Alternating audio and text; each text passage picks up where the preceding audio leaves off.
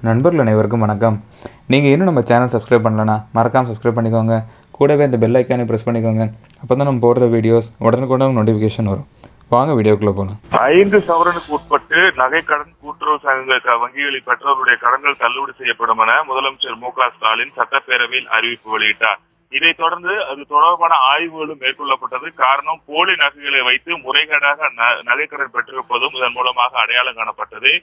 இதனைத் தொடர்ந்து அந்த ஆய்வுகள்லாம் முடிந்ததற்கு பின்பாக நகைக்கடன் தள்ளுபடி செய்வதற்கான நடவடிக்கைகள் மேற்கொள்ளப்பட்ட வந்த நிலையில் தான் கடந்த ஏப்ரல் மாதம் பதினான்கு லட்சத்தி ஐம்பத்தி ஓராயிரத்தி நாற்பத்தி இரண்டு பயனாளிகளுக்கு சுமார் ஐயாயிரத்தி இருநூத்தி தொண்ணூத்தி ஆறு கோடி ரூபாய் அளவிற்கு ஐந்து சவரனுக்கு உட்பட்ட நகைகள் தள்ளுபடி செய்வதற்கான நடவடிக்கைகள் மேற்கொள்ளப்பட்டு வருவதாக கூட்டுறவு ச- வங்கியில் சார்பாக தெரிவிக்கப்பட்டது.